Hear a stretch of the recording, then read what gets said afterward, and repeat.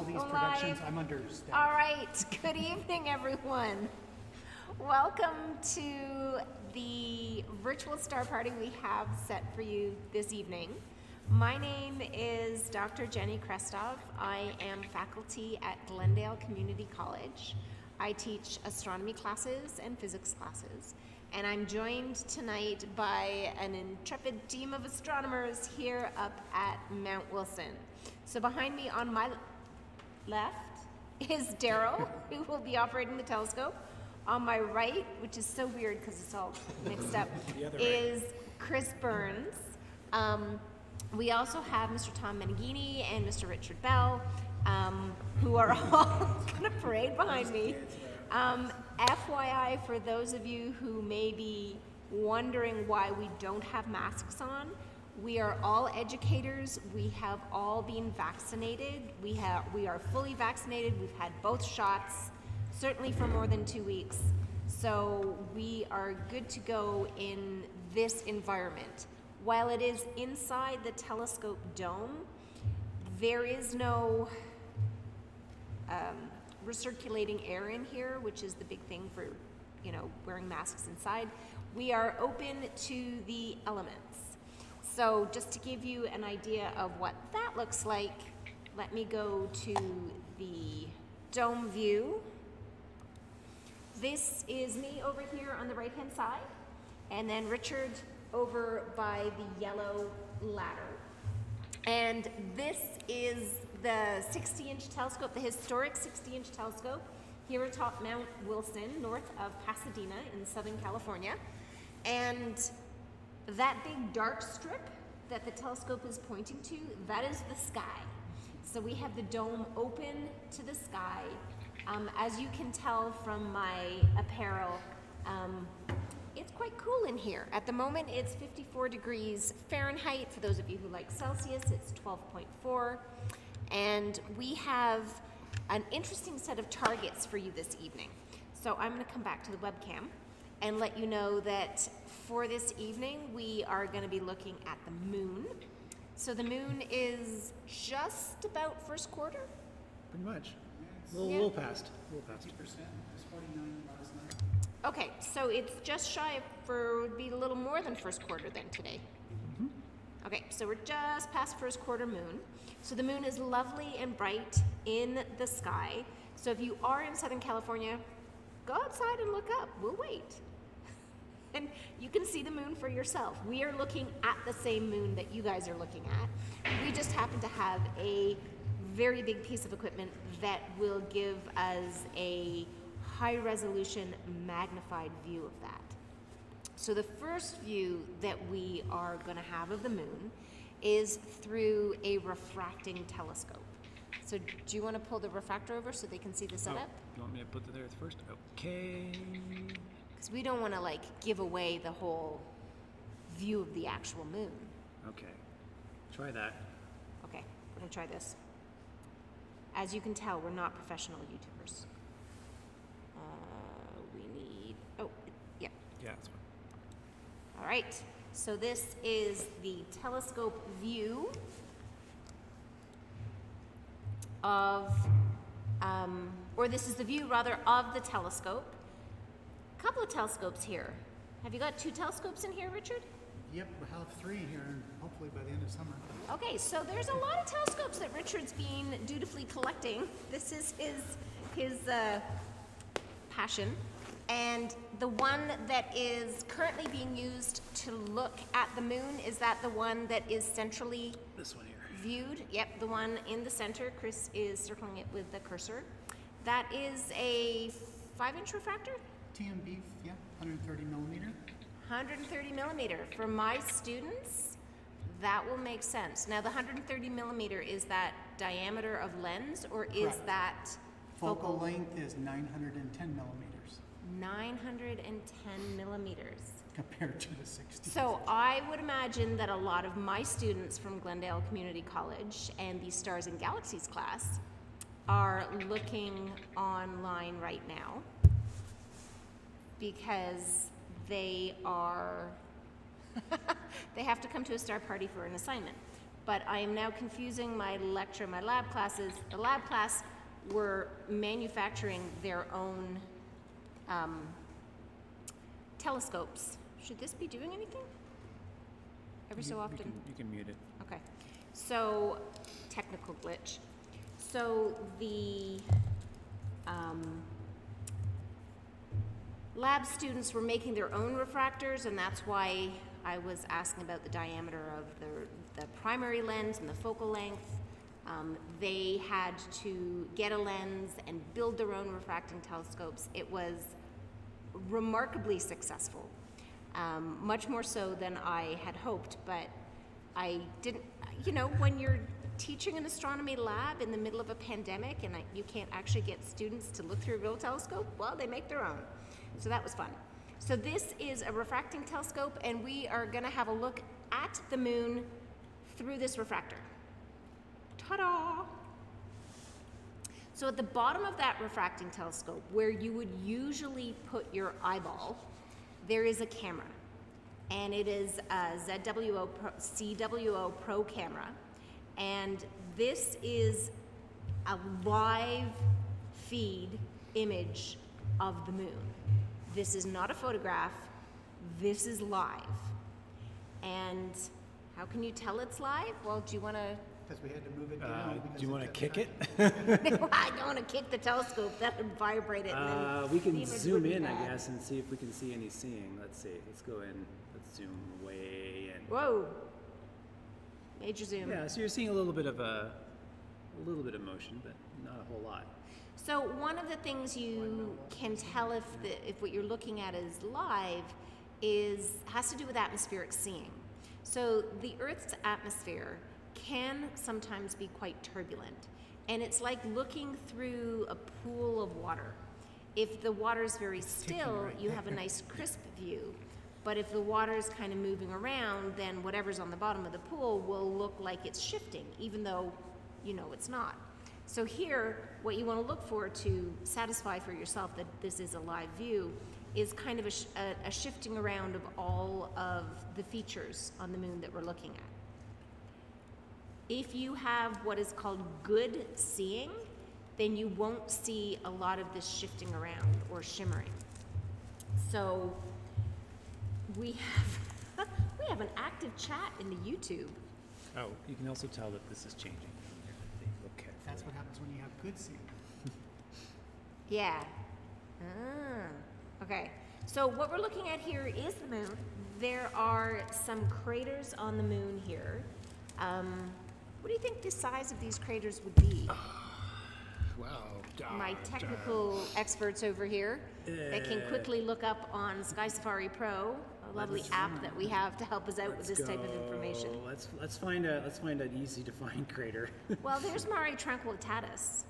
yeah, so I can. iPad's over there. There we are. So Mare Tranquillitatis um, is pretty much in the middle of the picture that you're looking at here. So you will notice kind of a round, darker area, which is a mare, kind of upper left, and it's connected to one almost the same size that doesn't look quite so round. It has like two little bulbous areas on the bottom left. And that second one is kind of central to the image that you're seeing of the moon here, um, or central to the image So including the black night sky. Um, the three. Is that the one you're talking no, about? Mare Tranquillitatis Right here? is the, That's this one here. yeah, the second one down. Yeah, Okay, this one. That with the thing. two Yep. little bulbous things at the bottom. So this is supposed to be the man in the moon, or I like to think of as a third grader in the moon, because the, the upper one on the right is kind of the torso, and you can see at the top there's like the squished head, and then you have a very thin waist, and then you have what looks like the bottom, uh, and then the legs, kind of misshapen legs coming out He of looks those like a little two bulbous farmer. area. It looks like he's got a little hat on. Yeah. Right there with a little hat Little squished head. and his little legs and body. Yeah. got- He's got coveralls. Yeah, wait, yes, he could have coveralls. Anyway, Mare Tranquillitatis is the middle large region on which the cursor is presently sitting. So this is what we have. And what is the diameter of Mare Tranquillitatis? My, the diameter of that is, oops, uh, Hundreds of kilometers. 867 kilometers across. 867 kilometers. That's roughly 500 miles. So that is from San Diego to San Francisco ish? From here to San Francisco. Or from here to Yeah. San Francisco? Here Is to it San 500 Francisco, miles? I thought it was only 360 miles. What do I know? I don't speak Someone get- I'm miles. from Orange County too. Google it Maps. All right. I had to do sixty miles to get past LA. Yeah. All right, so that is um, the view through our small telescope. Now, this small refracting telescope is not in the same building we are in. It is, uh, I want to say, about a three minute walk away in its own roll off shed. So, this is a rectangular shaped building, and the entire roof rolls off. And you can see, if Chris goes back and brings the Oh, sure. Yep. live stream from the Nest Cam back over, you can see there are kind of partial walls a little on the right hand side, and then there's a desk um, with desk chairs on the left hand side. You can see the wall kind of at the end.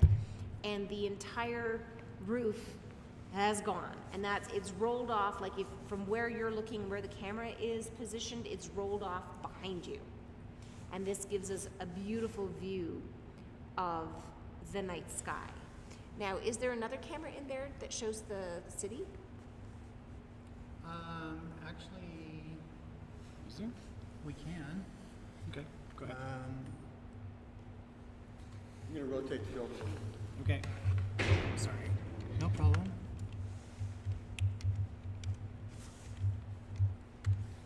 So We'll just go over here for a second. there's there's there's our beautiful city. There you go. Yeah, that's what I wanted to show them. This is the city. So,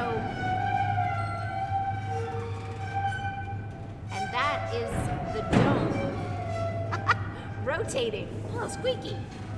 So, Mount Wilson, when it was first constructed, this observatory um, was at a lovely dark site, but it was fir- first constructed back in the early 1900s. First light through the 60 inch telescope was in 1908. In 1908, LA was really small and they didn't have a lot of lights. So, hmm, it was a great observatory. It was the largest in the world, in fact. But, well, now you can see the lights of LA. It makes observing from Mount Wilson less ideal. So, large telescopes are now located in dark sites. Um, and Chile and Mauna Kea and Hawaii are two of the best sites in the world for professional grade telescopes. Um, but for observing Mount Wilson is still pretty cool, in large part because it is so close and it is so accessible for so many people in LA. All right, so shall we show them the view through the 60 inch? Sure. So Make sure I don't move the wrong. this is the 60 inch telescope right oh. over here. And we call it the 60 inch telescope because the primary mirror, which actually does all the light collecting, is the most important part of the telescope.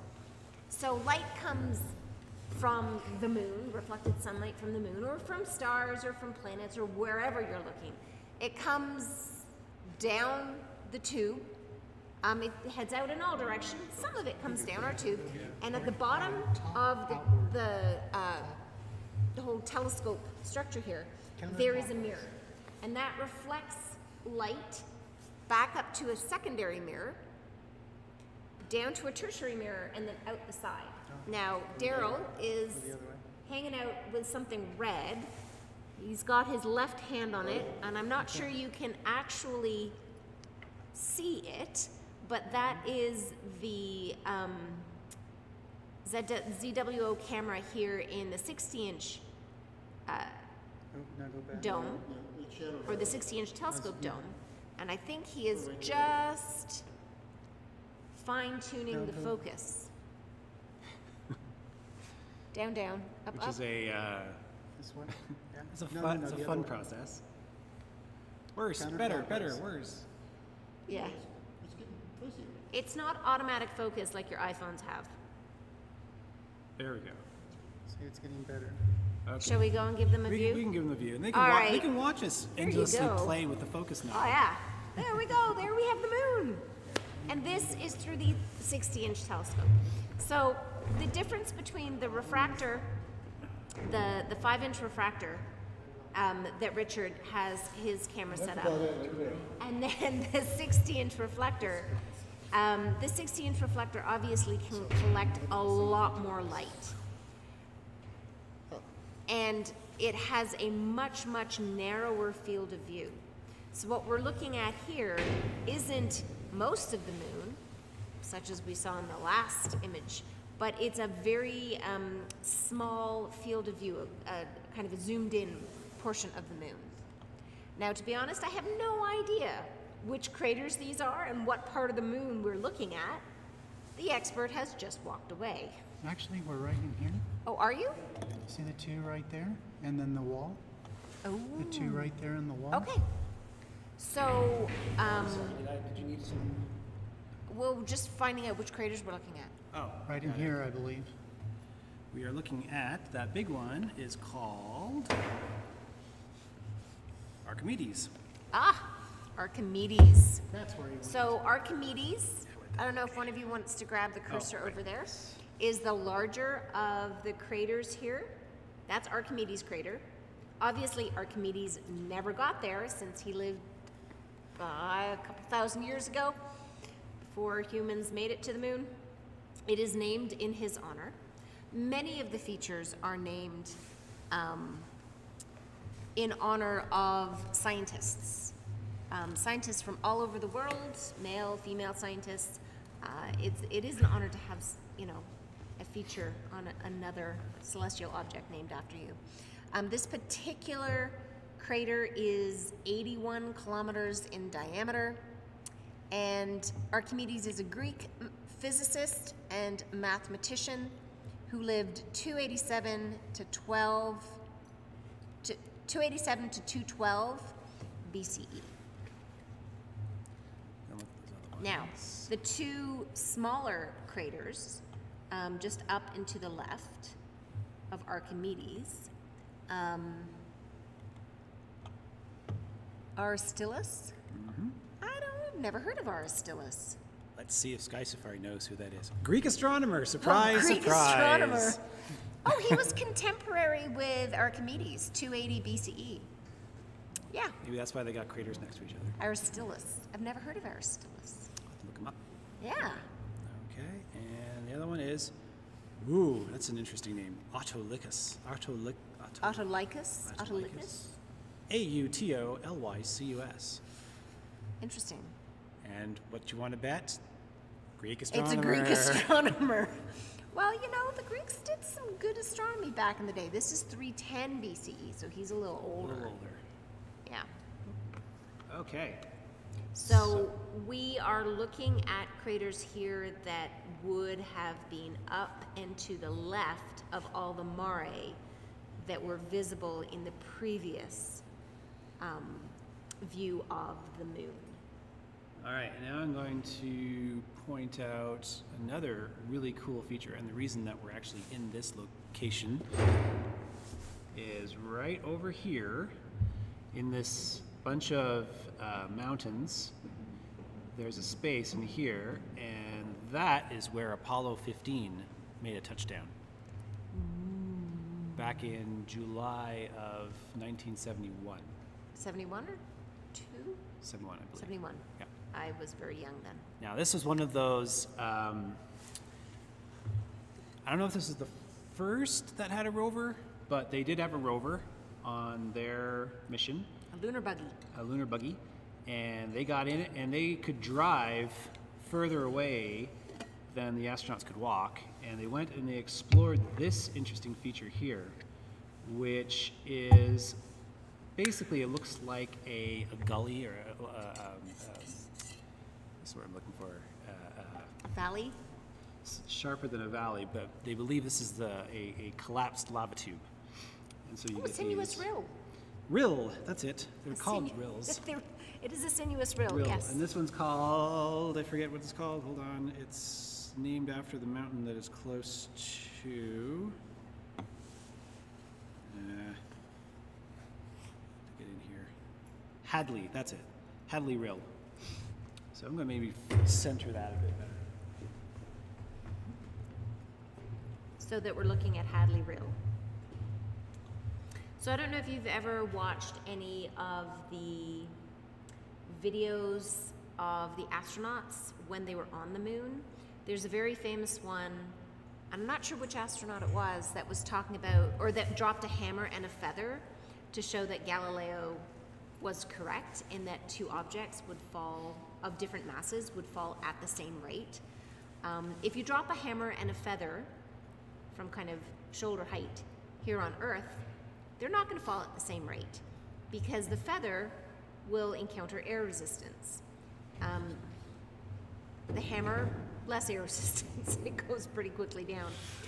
And so there's a lot of people, and back when Galileo made his finding or, or proclaimed that all objects, regardless of mass, fall at the same rate, people didn't believe him. They thought that larger rocks would fall more quickly than smaller rocks. And he famously went up to the top of the Leaning Tower of Pisa and dropped a large and a small rock at the same time. And an assistant at the bottom confirmed that they did actually land at the same time, so that the larger rock did not land a few seconds before the smaller one.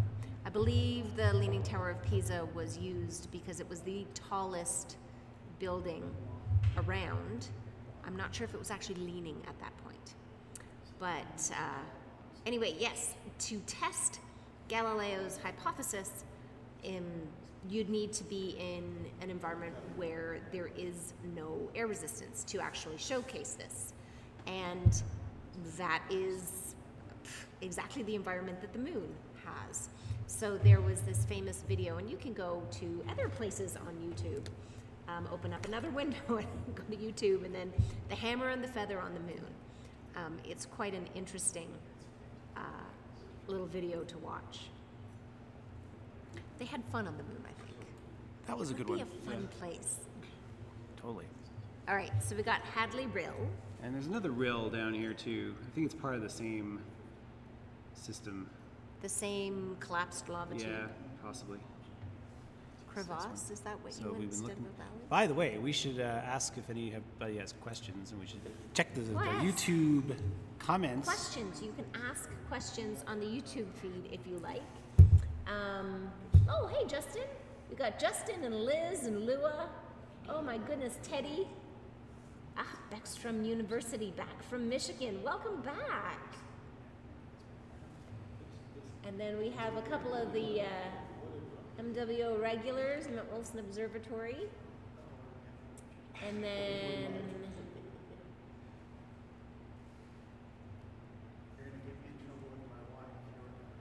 Oh, there's someone commenting about it's really neat to see the advances advances in technology since the software Bisque slash CCD soft Oh yeah. on the 24 inch refractor with telescopes that were in use in education in the early 2000s. I have no idea what that means, but Oh okay. no, the software has come a long way since those Oh days. yeah, reflector.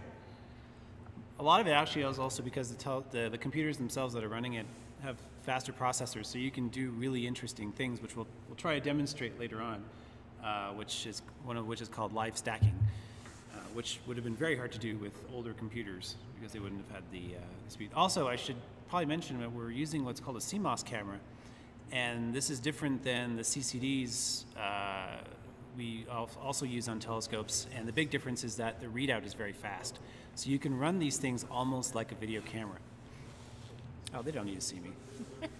Well, you know, if moon's much more interesting. If you're explaining things to them, Uh, yeah, so so that, that camera we looked at on the telescope is uh, connected to a, a PC that is strapped to the back of the telescope, uh, and they communicate with a USB 3. hey, why don't you do a roving view and show them what it's like?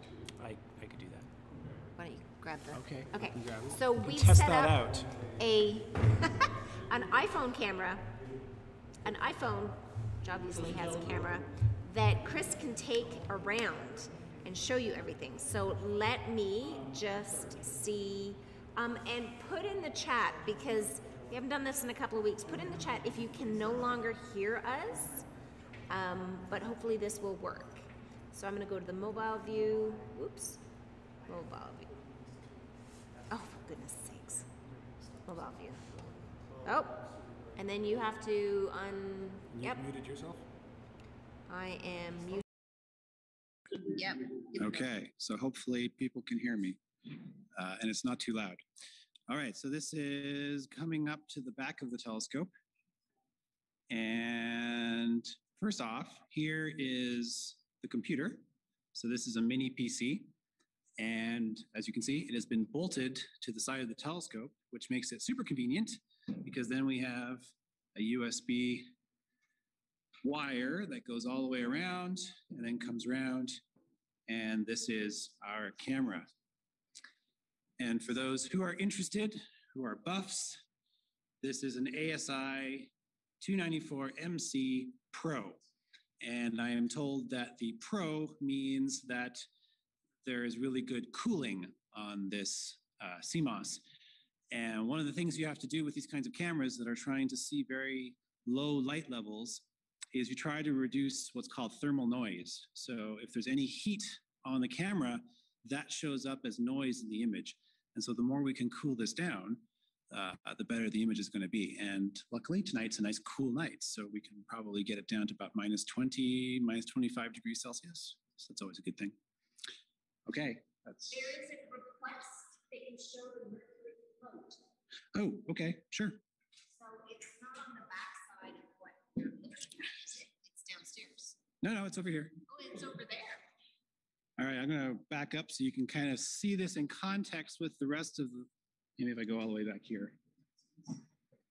So that telescope, all the way down, we're looking at 10 tons, or the whole thing is 25 tons.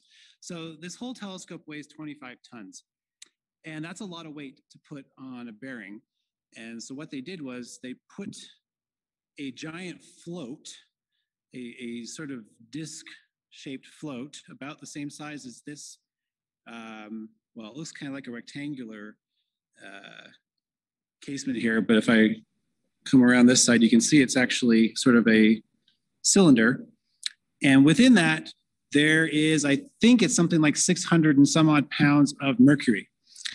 And the float displaces all that mercury up the sides of this tank, and that takes the majority of the weight of this entire telescope. So the telescope is floating on a bath of mercury.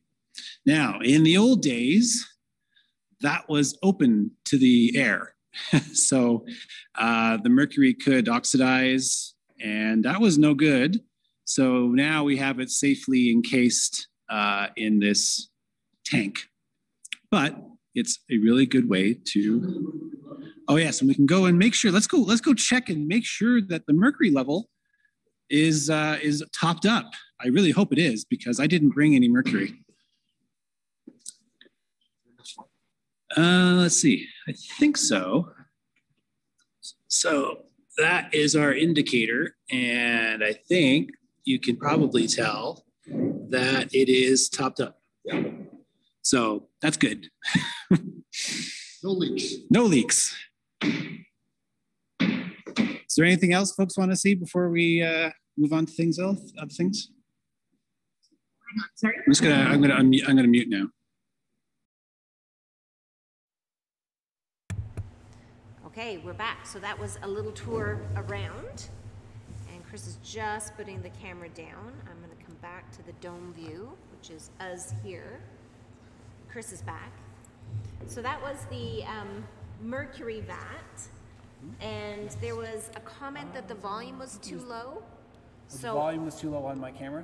uh, well, no, just through here. So I turned it up in OBS. Okay, cool. So Uh, I think we were looking anyway, at the wall. that is. The Uh, walls on the moon. Yeah, sorry about, I did turn the volume up, so it did get a lot louder. Um, hopefully you can hear that well now. But that was a bit of a tour of the equipment that we're using. And now we're gonna go back to the moon? Ooh, we're gonna go to a feature called the Big Wall, and I am gonna go back to the attic view. This is Hadley's Rill and Archimedes, couple other Greek astronomers who have craters named after them. Um, and we're going to slew the telescope to change position. So now you can see we're going across the face of the moon. And that, I think, is the head part of the man in the moon, what I like to think of as a third grader in the moon, actually. Um, slewing the telescope, you know, I don't know if there's any other usage for the verb slew. Um, to slew a telescope, and I believe it's spelled S L O O H. Slew, S L E W. Yeah, S L E W. But slew S L O O H is the um, you can book your own time on a li on a remote telescope if you're interested. Um, but slewing a telescope is moving it slowly. So there's uh, slewing in two directions, right ascension and declination, which are the coordinates that astronomers use to kind of map the sky. If you can envision the lines of latitude and longitude kind of projected onto the celestial sphere, those are the lines of declination right ascension. So they go from the north celestial pole to the south celestial pole, that's right ascension lines, and then declination is similar to latitude, and they go from the celestial equator north or south. So if you are going to slew the telescope, you are going to slew um, in either right ascension or declination, or both, and move where the telescope is pointed very slightly. So the moon is actually a remarkably small target for telescopes um, to, well, it, the moon is a remarkably small object for you guys to see if you go out. You think, oh yeah, the moon's pretty big, and you know it's really big, it's a quarter of the diameter of the Earth. But if you actually go out and look up at it, you can hide the moon behind your pinky finger if you hold your pinky finger up at arm's length. So go outside, stick your arm straight out, and, the, and your pinky finger will easily cover the full moon. So the moon is actually quite small. But even then, this camera and this telescope are zooming right into a very small piece of it. So we are only moving the telescope very, very minute amounts to change what part of the moon we're actually looking at. And fun fact the telescope has to be told to track at a different speed than it does when we're looking at stars. And that's because, thanks to the moon's orbit around the Earth, it's not traveling across the sky at the same rate that the stars are. The stars move because the Earth is spinning on its axis, and that also makes the moon look like it moves, but because the moon also has its orbit, it goes at a slightly different speed. And if we don't have that speed set on the telescope, uh, it actually starts moving pretty quickly. In fact, Out of the field why- of view, yeah. Hey, you guys, why don't you turn on sidereal time for just a, a sidereal tracking, just so we can see it move? Yeah, tur- no, just put it on sidereal tracking. So we can see how quickly it's All right. moving out of the So field of what we're doing now is we're now tracking the stars rather than the moon. And what should happen is, over time, It should move. yeah. So what you're seeing now, this motion that you're seeing, is the orbit of the moon. And you can tell that there's some motion because there's a little tiny arrow, the cursor it's left in the middle of the image, and it's getting farther and farther from a little crater just down and to the right of it, and closer and closer to the bigger crater up and to the left. So this is the difference between how the stars seem to move across the sky and then how the moon seems to move across the sky. So the motion of the stars, they're not actually moving on a human time scale. That we can see. Um, but they seem to go east to west across our sky, as does the moon. Because the moon orbits the Earth, you have to kind of superimpose that orbital motion on top of the east to west motion because of the rotation of the Earth. So you've got a bunch of things that you have to account for if you're going to accurately track the moon. And if you're just looking at it with your eyes like we are now, you're like, yeah, yeah, yeah I can totally like focus on a crater and whatnot. But if you're taking a picture of it and you have a long exposure, something on the order of three or four minutes, then you can imagine how much motion you would see in your photograph um, when the moon, if you're not tracking the moon perfectly. So it's a complicated instrument up here. Mm-hmm. Should probably also mention why we're in this particular location on the moon. Did we talk about what, the, what we're looking at? No, I Oh, have no idea what we're looking at. We're looking at this. this is a feature on the surface of the moon uh, that is called, and now I've lost the It's an escarpment. It's a Latin thing. So it's an escarpment. It's called Rima Ariadaeus, or Awesome. more colloquially known, colloquially known as the Big Wall or the Long Wall. Let me see. Maybe it says it here. Um, no, it doesn't say. But I think it's, it's called the Big Wall. And it's 247 kilometers from, from end to end. Uh, and that's roughly the distance between LA and San Diego. Yeah. So that's what you're kind of and a seeing half hour here. drive is what we're looking at there. If you're driving, you know. But there's at a no traffic on the moon, so There's no traffic, well, good. which means you wouldn't be held up. As long as you're not speeding, it would be about a two and a half hour drive. Just saying. Alright. Okay. That would be fun in the moon buggy. I'd love to Mm. try that. Should ask if anyone has any requests for moon places to go to. Oh, yes. So we have uh, Tim Thompson up there. Oh, hey Tim. We have the ARC Center of Excellence for Dark Matter. Oh, there was a question about what the blue tube on the side of the telescope near the mirror cell is. Oh, that. Ah, hang on. Let me go back to the view um, as seen of the dome so that we can answer that question. Okay, so this giant tube here. Go ahead and answer that question. I have no idea. Oh, There we go. Do they mean this one here? I think so, yeah. Okay. Well, I don't know if they'll hear me all the way over here, so you can repeat if, if it doesn't come. Well, hang on. Let me move the microphone over. Whee! Here, you can have a mic. Ah! Oh, goodness. Okay, so now they're going to correct me if I get this wrong, but if I'm not mistaken, inside that tube there is a weight. Down inside, there's Down counterweight inside. on this cable. Yeah. And then as the telescope moves to different positions, that weight slides up and down that tube and keeps things balanced. There you go. Uh, actually, let me, let me get the, let's do the roving view because it's really cool to see how that system works. Okay. All right, so let me go to mobile view and turn you on and this off. Okay, so hopefully it's a little louder now. Oh, yes. All right, so the question was about this tube that goes down the length here. And I'm going to try and show you what's down that tube.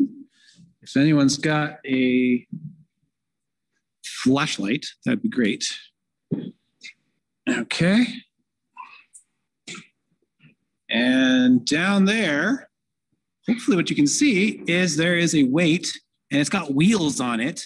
So it slides nicely up and down that tube. And that's attached to this cable. The cable goes through this pulley and over this cam system. And now I'm going to come over this side. And all this interesting gearing here, I think it does multiple things. One thing that it does is it slides this mirror, this sorry, not mirror, uh, this weight up and down.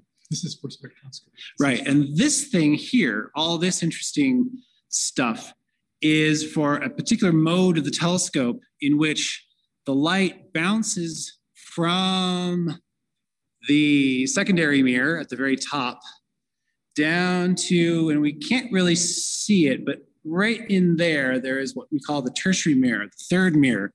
And if we want to send the light down the axis, what's called the, the declination axis, all the way down there. Oops, oh, okay, under there, there's spots for it to go. Um, it goes down to what's called a spectrograph. Let's see, can we see more things up there? No yoke, there's a hole in the yoke. Yeah, kind of hard to see. Can't quite get to it. But anyway, the point is, in order for that light to bounce the correct angle down the declination axis and through the floor into where that uh, spectrograph would be, uh, means that that mirror has to change angle as the telescope tracks around the sky, mostly in declination. And so all this gearing here is just the engineering solution to maintaining that correct angle. So the telescope has a lot of interesting moving parts. Hopefully that answered your question.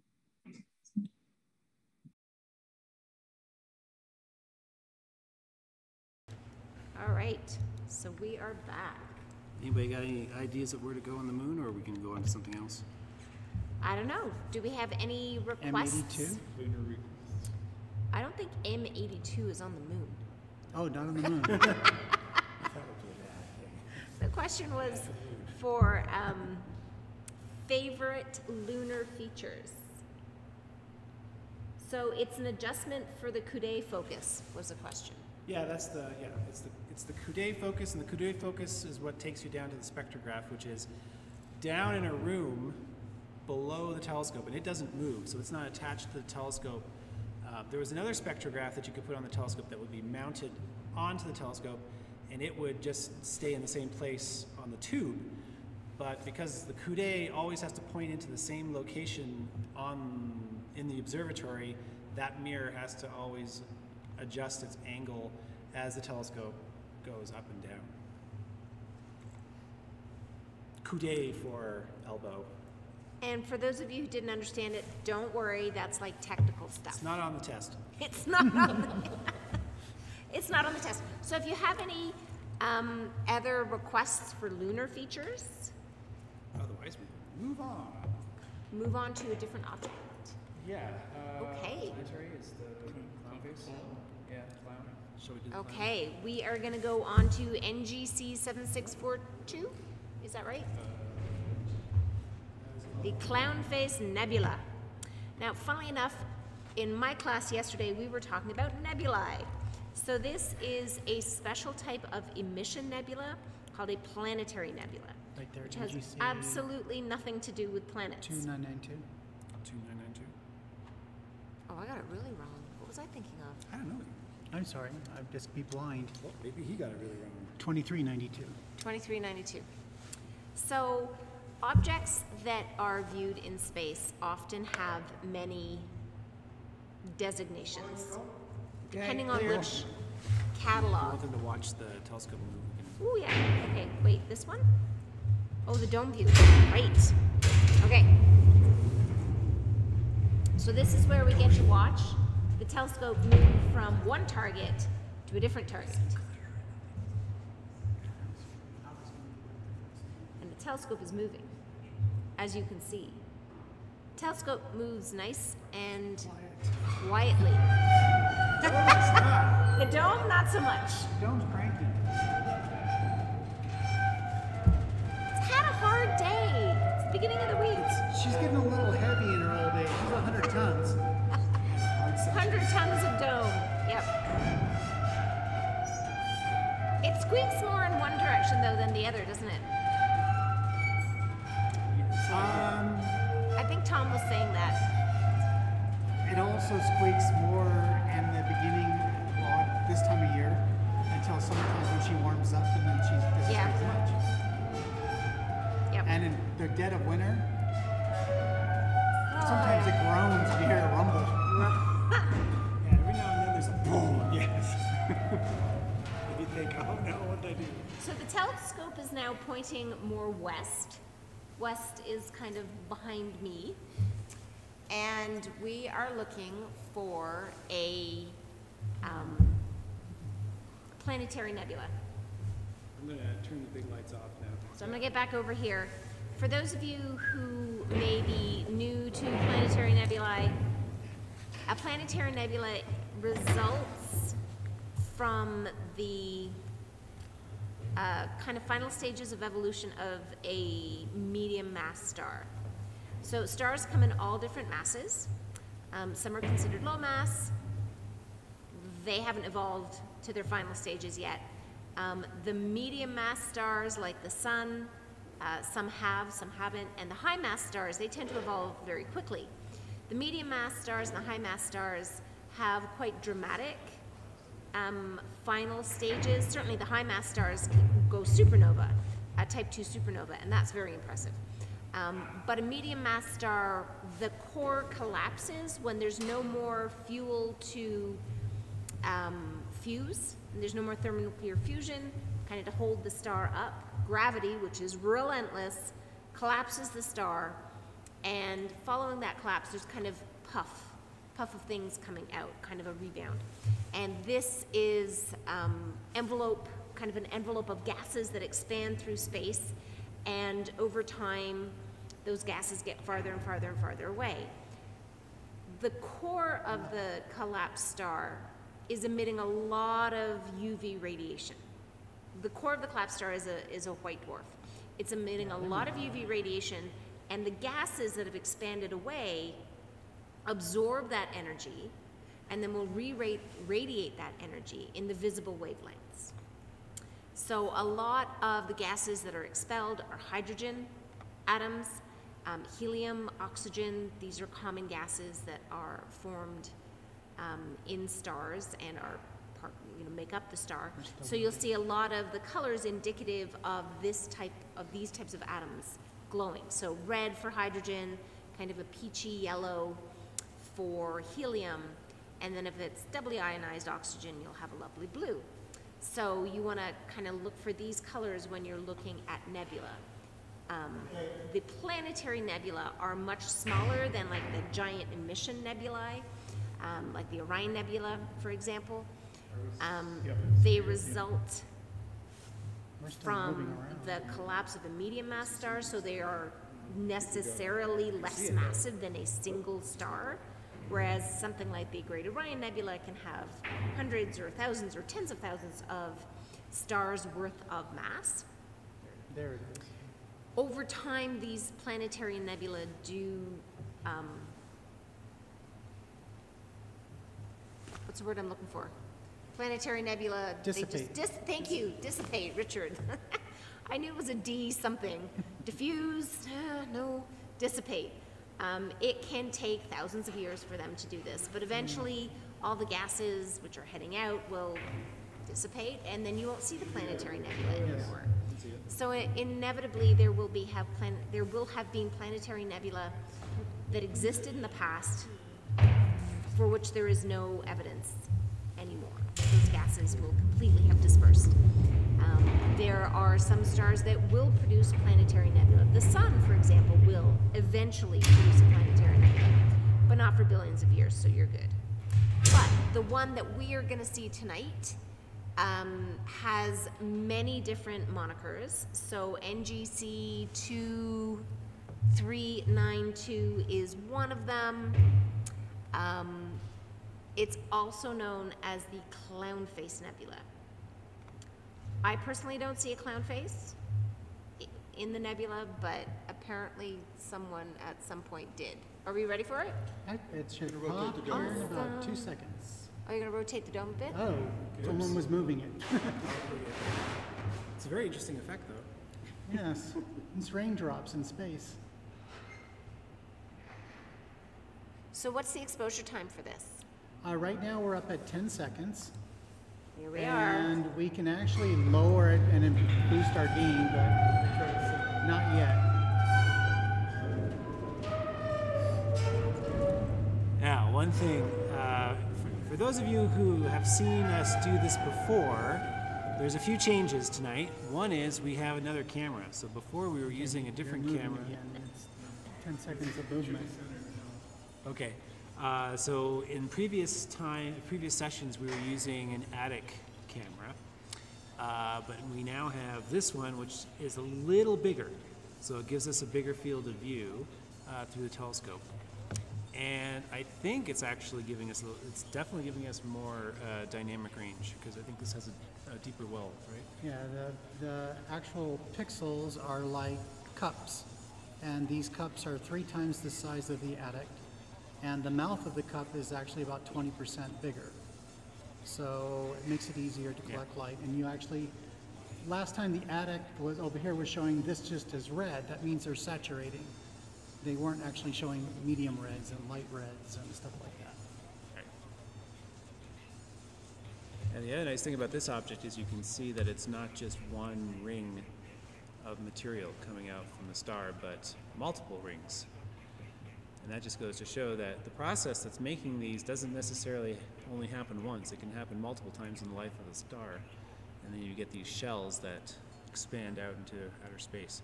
Now, the other thing that we have tonight is a pretty sizable amount of moonlight. So you'll notice in the background that uh, there seems to be more darkness towards the bottom of the view and, and a bit more brightness to the top. And I'm going to guess that that direction is the direction of the moon. So I'm going to make it brighter, then try to reduce our. Yeah, so what Richard is doing now is he's playing around with the gain and the exposure time. And we're trying to get a nice balance between information coming out and not getting swamped out by that background glare from the moon. And this is a very good night. Uh, again, for those of you who've joined us in previous nights when the seeing was uh, not great, uh, this is this is a, a nice welcome change, and is likely because we're now going into the summer months when uh, we typically get better seeing at the mountain than during the winter. Winter observing here on Mount Wilson is notoriously uh, notorious for the poor seeing. Those darn Santa Ana winds. Mm. Are you checking the? Okay. So there's a chat in the YouTube, or there's a little conversation in the YouTube chat about astrophotography. So there are people asking questions and offering advice and things. Cool. As I am not an astrophotographer, I am staying well out of that conversation because I really don't have anything to add, other than these cameras that we got here, which you can do astrophotography with, seem to be quite amazing. Yeah, they just keep getting better and better. They I really, wonder if we really can do. stack. This is going to be my next question. So we have a few stars in the field. Oh, we have to clear the moon. Uh, Oh, yeah, yep, no clear the moon image. Uh, so we have a few stars in the field of view, and what we're going to try and do now is take multiple short exposures, and the software will use the positions of the stars to line up each exposure one after the other and average them together. And when you take images like this with what we call a noisy background, all that, that glare in the background is sort of random.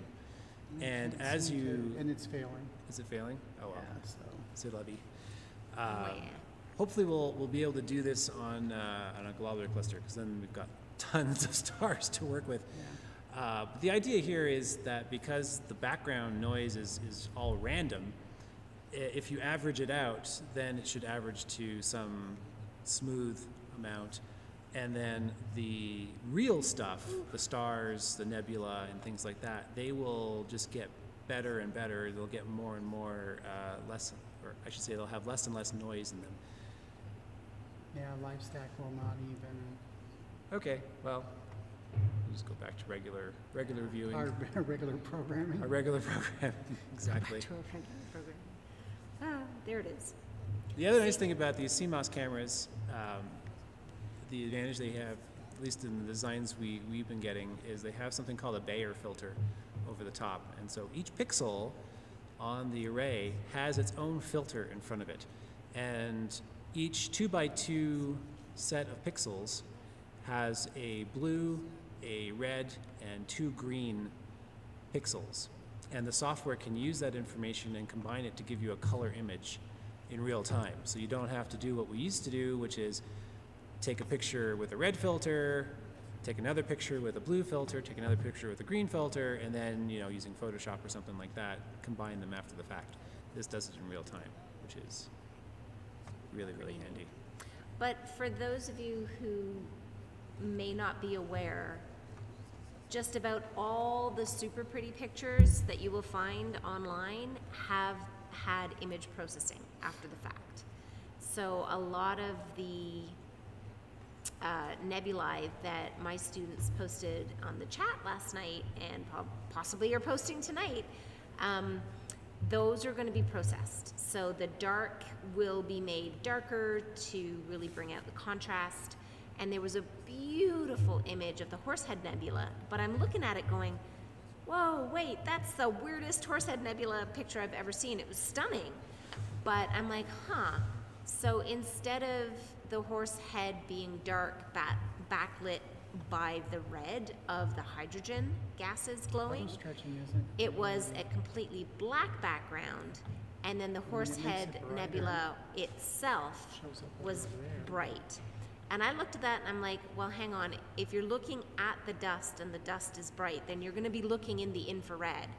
And I went online and sure enough did some digging and found out that it was an infrared image of the Horsehead Nebula.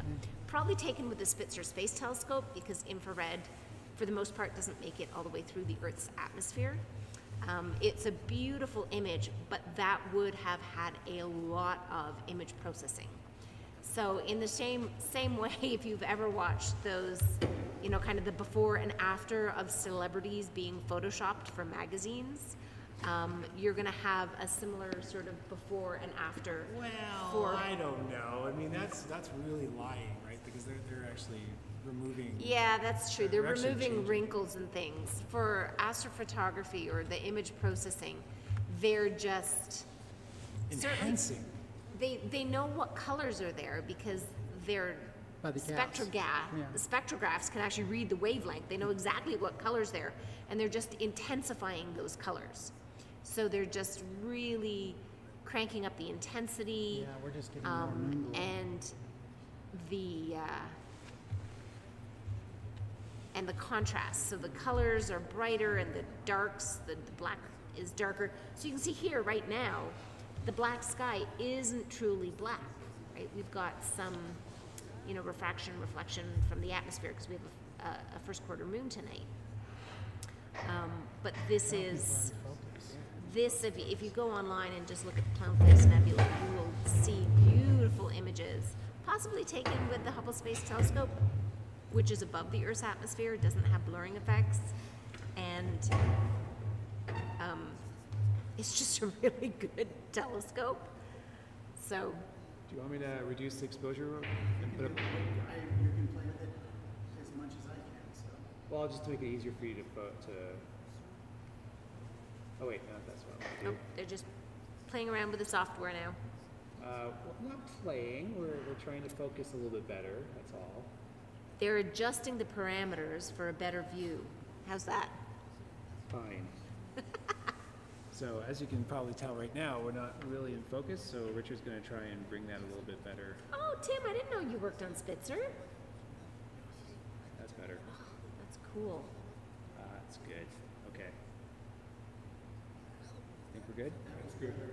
Okay. All right. So let's bring the exposure. up. Um, for those of you at the ARC Center of Excellence for Dark Matter, um, yes, we do have live stream schedule. Um, if you go to the glendale.edu slash planetarium website, that is my little website. I'm the planetarium director at Glendale Community College.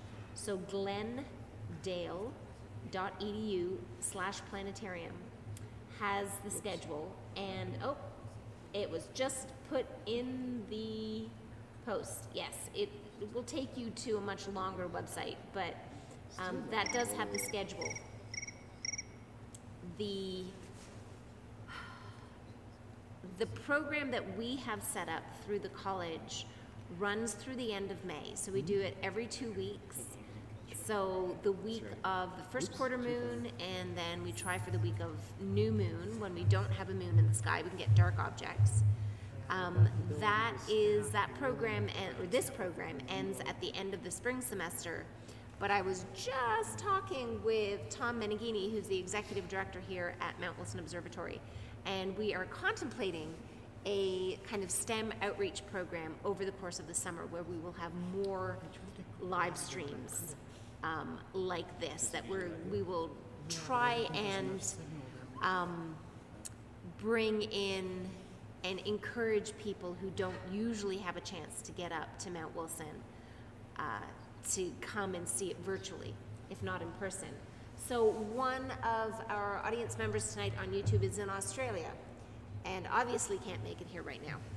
Um, but yeah, this is the next best thing. Uh, I think you're gonna be opening up. I mean, Trying for June fifteenth. June fifteenth is when California is supposed to be able to open up. Um, so they're, we're gonna try and open up for live or for real in-person observing. Um, you can rent a night on either of Mount Wilson's large telescopes, either the sixty inch or the hundred inch telescope. You and twenty-four of your close, twenty-three of your closest friends, I think it maxes out at twenty-four? Twenty-five for this one. 25 um, individuals can fit into the dome for the 60 inch and less for the 100 inch, right? 20.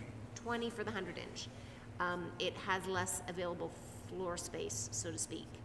Um, the telescope does move around, so you don't want to be in a big crowd and be hit by a moving telescope type of thing. Um, Ooh, promoting the streams to scouting groups for STEM. Absolutely. These, so there's only a few left for um, this outreach from GCC. But if you want to tell all your scouting groups, by all means, please spread this uh, information far and wide, as far as Australia, apparently, among other things. We are, okay, good. Okay, so are the nebulae actually that color and they are intensifying them simply because we know what color they are? Yes, that's exactly it, Liz. Or are they really not as intense and we're just making them more so? Okay, so one of the thing with nebulae is if you actually, and a lot of people are quite disappointed when they look at a nebula through an eyepiece, even with a big telescope, they're quite disappointed by the fact that it's very faint. But you have to understand that the number of atoms in a nebula is very low. So the air you breathe is 10 to the power of 19 atoms per cubic centimeter.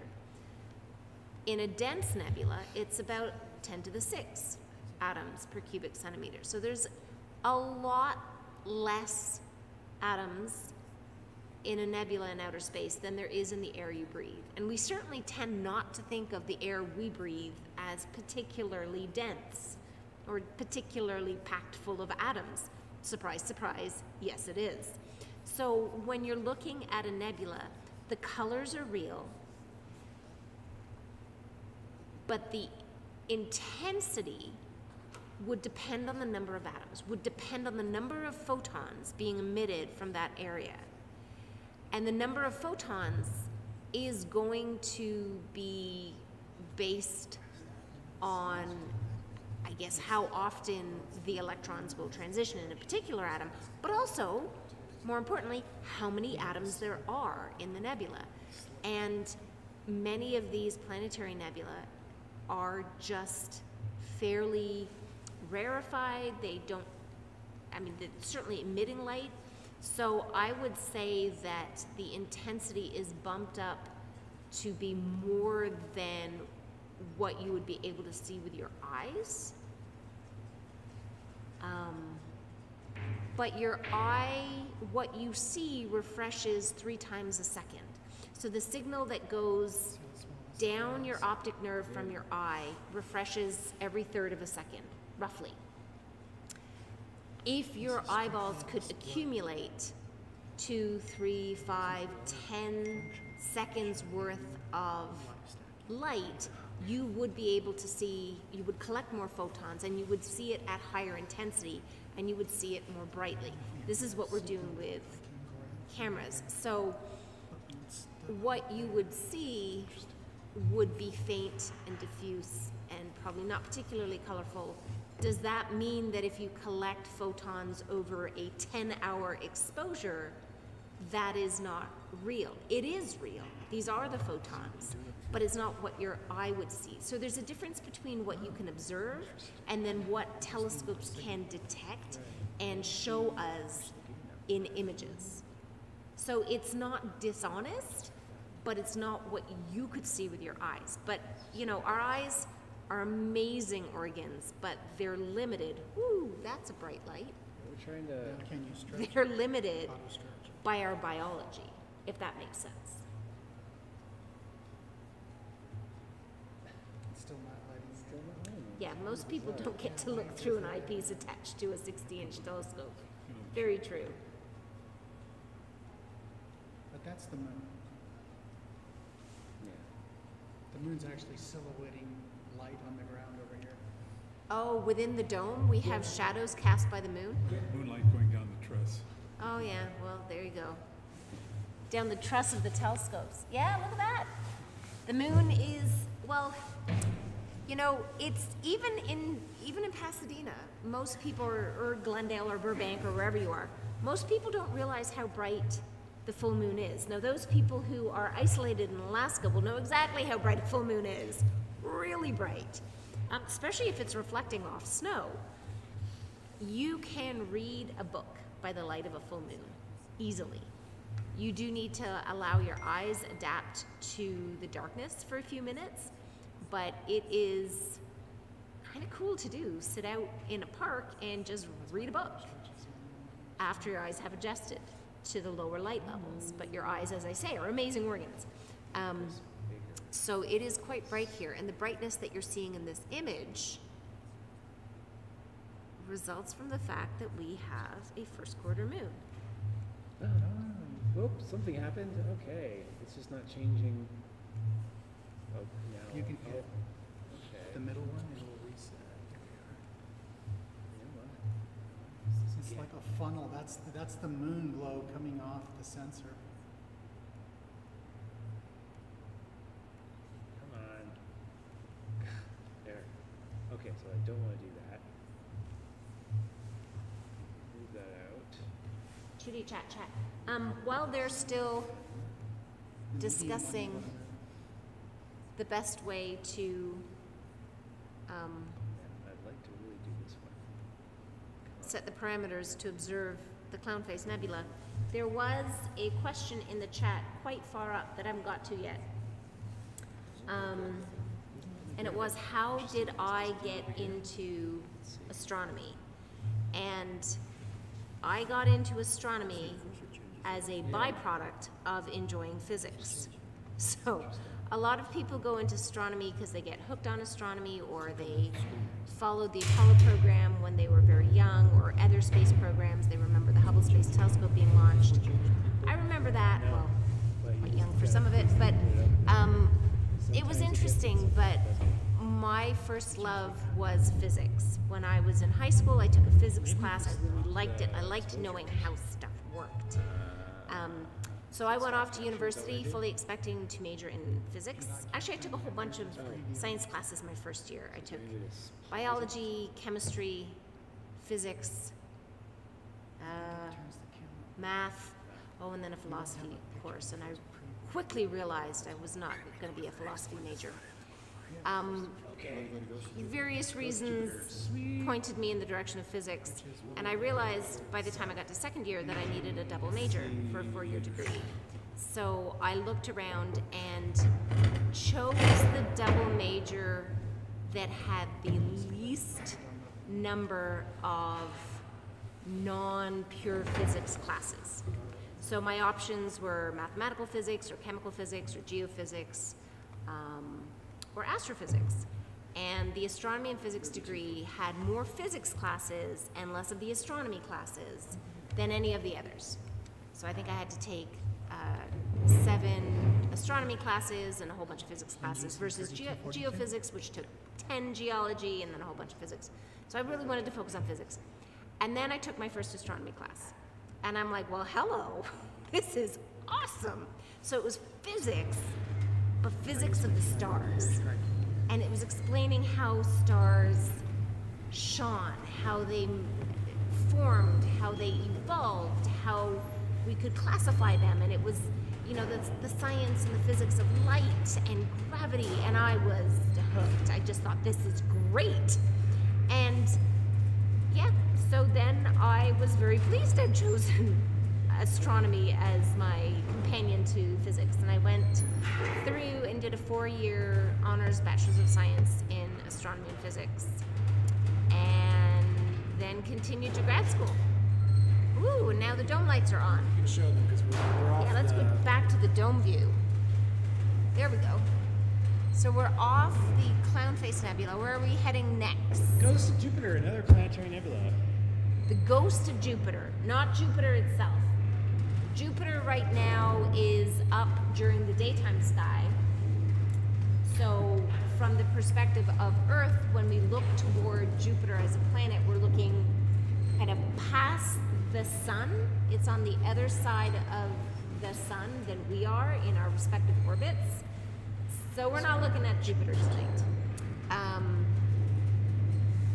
trying to get away from the moon. yeah, the We're is trying to escape bright. Escape the moon. Quite annoying.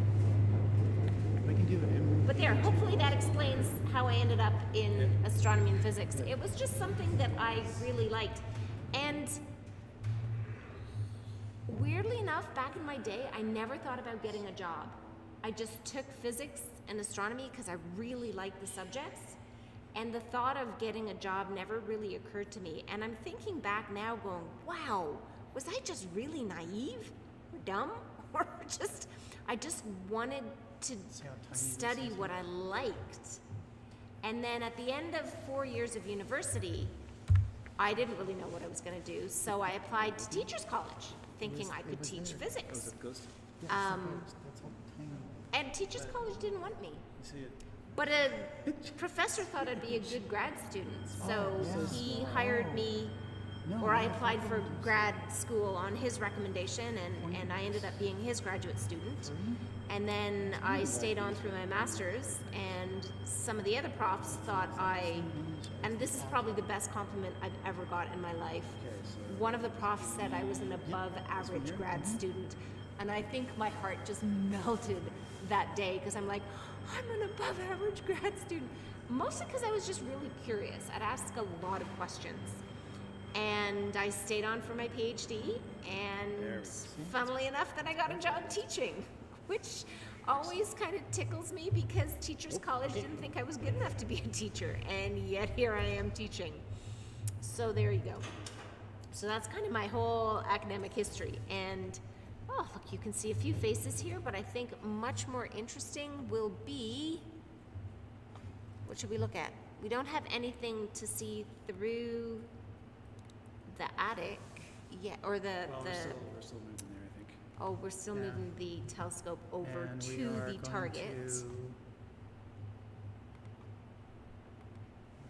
So the ghost of Jupiter is another planetary nebula, also known as NGC, oh, NGC something. NGC something. yeah. 3242? 32 3242. Ooh, well done. Oh, there 3242. So for those of you um, who heard me say a while ago Yep. that there that all of these objects have different monikers, like the ghost of Jupiter and the snow, the blue snowball nebula, which we're not going to get to, and then, oh, that's pretty. Can I go to it? Sure. Um, We're just gonna mess around with it, sorry. you're going to mess around a little bit, but let's go over here and show you the view through the telescope. Oh. So yeah, yeah, as you can see, there's a red haze in the background. Oh, not anymore. so they're changing the parameters of the camera. I have, yeah. We're trying to get this thing to stop doing this. Hmm? Oh, you know what? It's the city. Yeah. We're so- shooting over LA County. So, so we've traded the moon for LA. Okay. okay, you can still Why do we it. have a double view? He just moved it. Tom, Oh, Tom he just moved it. So there's clearly a delay here. New general catalog. Yes, I was getting to the NGCC. NGC, thanks, Tim.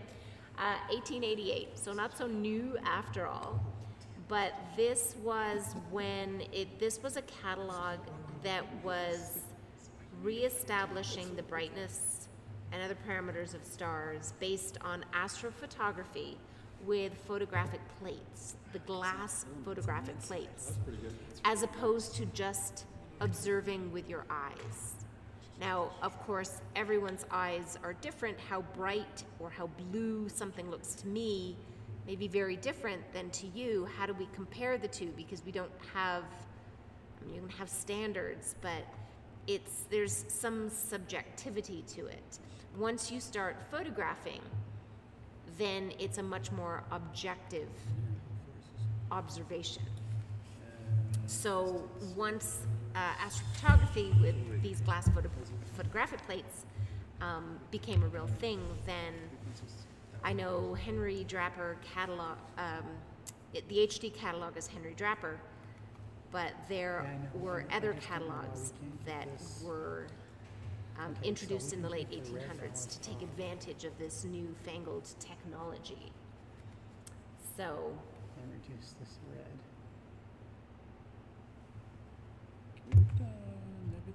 It's pretty, can I look at it? Yeah, that's pretty much astronomy. We get the best, honestly, in all the sciences, threads at the end, astronomy definitely has the best pretty pictures. You mean like that? I mean, I'm just thinking of geology. Okay, you have pictures of like the Grand Canyon, beautiful. I just took off. But we the have auto nebulae, pass and then we and I'm have manually moving it galaxies. around. I'm Photoshopping. So, Photoshopping in real does time. anyone know why this is called the Ghost of Jupiter, by the way? It's supposed to look like the planet Jupiter in a. Uh, this is Lord Rosse, isn't this? Is that the? Let's see. And Lord Rosse didn't observe much. No, He his couldn't. no. He was in. But he was the one. I thought he was the one funding it, and he said, "You know, it looks like this."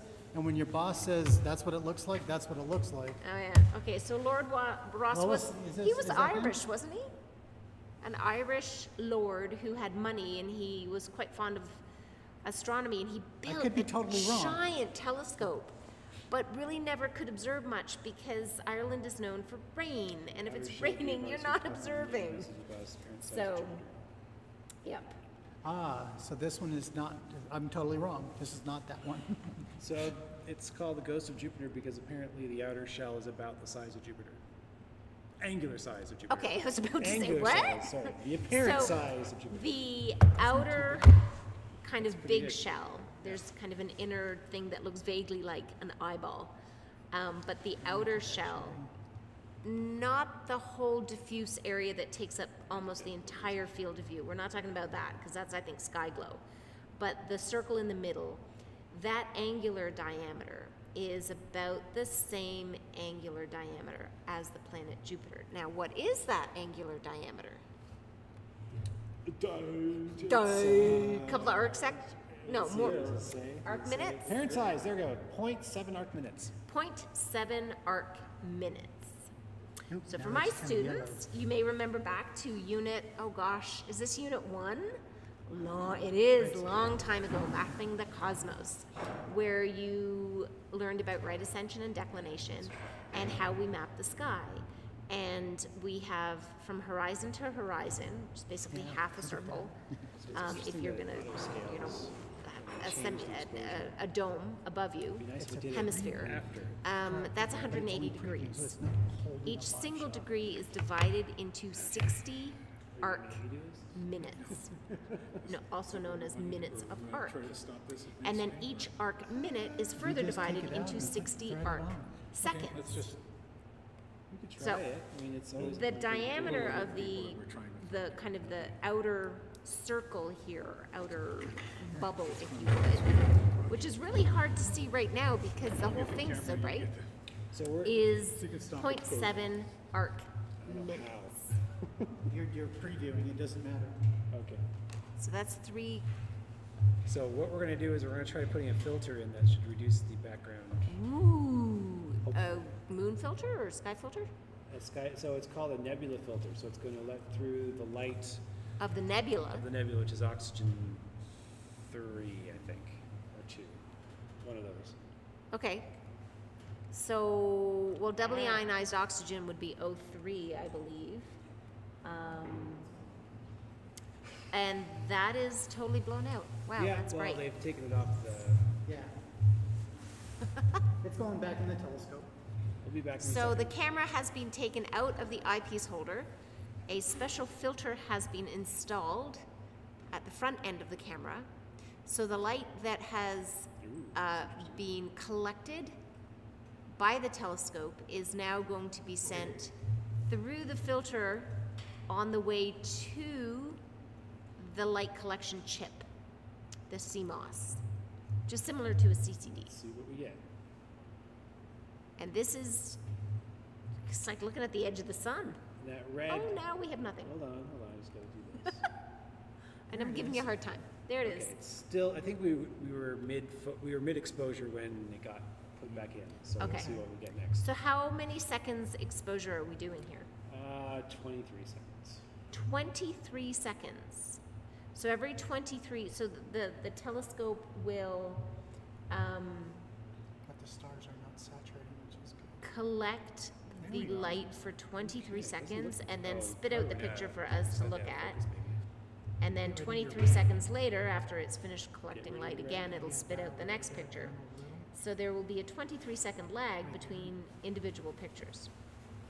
So we need to be patient, especially if Chris is going to adjust There we are. some of the background parameters.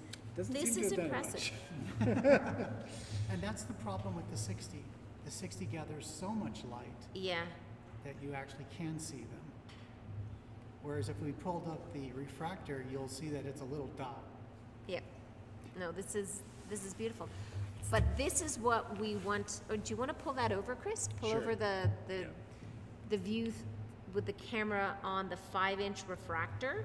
Is that little? It's yeah, the little blue dot on the left. Yeah, not the right dart. That's one- That's a star. The little thing right there. That's, That's the ghost of Jupiter nebula, planetary nebula. That's what we're looking at. So there are ZWO Pro cameras on each of the two telescopes. I'm going to have to change it so we know which one we're looking at. But I can tell you now that that one was the smaller refractive telescope. The refractor is a 5 inch primary lens, and this is a 60 inch primary mirror for collecting light. So it's collecting gobs and gobs and gobs of light, which is why things look so bright. And when things look bright, then our eyes can begin to see the color. I really want to play with the levels. Why don't I let me play with the levels? okay, let me try something. Let's do this. Reset. Ooh. And now try and move. So is this new software we're using? It's not new. I mean, it's working properly on Richard's other computer. It's just on this computer, it seems to be Mm. not as. It has to Glitchy do with the software. signal. I think it has. I don't know. Really? I think so. All right. Let's let's try putting. Let's try, all right. I'm gonna put it bump up the gain. Let's bump up the gain and just see what. Try and fill it. fill it in. Um, See what we get. so there's a good question on the YouTube chat. Will we ever be doing a solar observation live? Not with this telescope. So Tom just said, no, this telescope, you would burn everything out. The director has spoken. We did it with, unfortunately, we did it with the Lunt, which is a 100 millimeter um, specific telescope for looking at the sun and hydrogen alpha during the eclipse. yeah, And um, we have an H alpha filter for the C8s. yeah, you need a special filter. Yeah.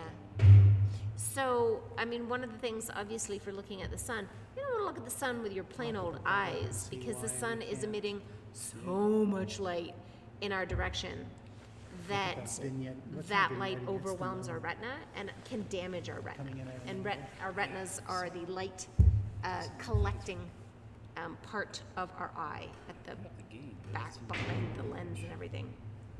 So, um, ah, out of the solar towers came the question. The 150 foot, that's a white light. Uh huh. Yeah. So we can never do live stream from that? But could- what, what We could image would you Put get? an H alpha, a filter on a camera and point it up at the sun, up at Just the not uh, letting you grab ceiling it. stand, and take an H alpha image. Huh. Is there I don't know that we ever have plans for that. Because usually, I mean, there's a bunch of us that get together and we're here in the evening. Sun has been kind Yeah, of boring. I like using it over here. What's that? Sun has been boring. Yeah, there aren't too many sunspots. I mean, we can go um, to have a look at the.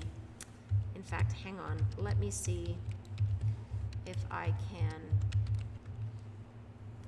show you what the sun looks like these days. Um, spaceweather.com a lovely picture of the sun. Every day, new picture of the sun. So I'm not sure if this is going to show up well. Um, let me go back to OBS. Well, there's, huh, so it's not quite centered, but I just went to the website spaceweather.com, and on the left-hand side, there is a panel that has a little tiny image of the moon, and you click on that, I wonder if and then you can see the blown up moon. So there's actually a number of sunspots, um, more than I've seen in quite a long time. So we have a group of sunspots 2817, 2816, and then there's another one right at the, the left limb. Um, yeah, this is not the most maximum of, of solar maximums I've ever encountered, Alexander. This is this is a very quiet solar maximum.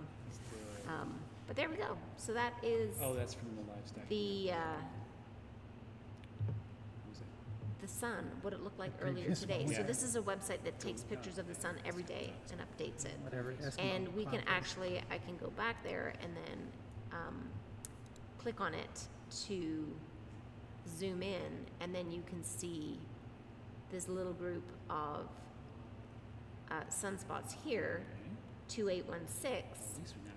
They are, um, it's still, something's funky. well, usually something about that size. Well, you can't see it now, but uh, the, the big one, the bottom left here of this group is probably about the size of the Earth. Take this one. So sunspots, fairly sizable. And there's the darker area called the we want, but then we umbra, have to move the middle of it. and then the lighter regions around it called the penumbra. And they are associated with strong magnetic fields. Just not letting. Blah, blah, blah. There's the sun. Okay, so now we're gonna go back to the Atik view, Click like a little to the right of it. and you guys are having a real image, or a real issue here. Well, we're starting to learn, Ah. I think. Nothing like That's not uh, bad. learning by On the doing. work, on the job. You can read all the There you are. astrophotography That's you as want. good as we're gonna get, I think, right there. That is pretty. That is great. In fact, that's really nice. So this is the ghost of Jupiter. This is the Ghost of Jupiter. Which is and kinda I think ghosty, I Next, suppose. we're heading towards uh, M3, so I'll let them know that we can. Are we ready to go to the next one? Yeah, I think so. Um, it's 9:30, so we only have half an hour left. Someone was asking if, could we do M51? Oh, I saw that in the chat. Cycle Yes. 25 just started. Woohoo! And I don't, Tim is always plugging Mount Wilson. Yes. So um, Mount Wilson was kind of the brainchild of George Ellery Hale. He was an amazing astronomer who built four largest telescopes in the world successively. The Yerkes Telescope out Hold on, you didn't say northeast of northwest of Chicago. Uh, yeah, northeast there's a lake. Northwest of Chicago, and then the Mount Wilson 60 inch, the Mount Wilson 100 inch, and then the 200 inch at Palomar.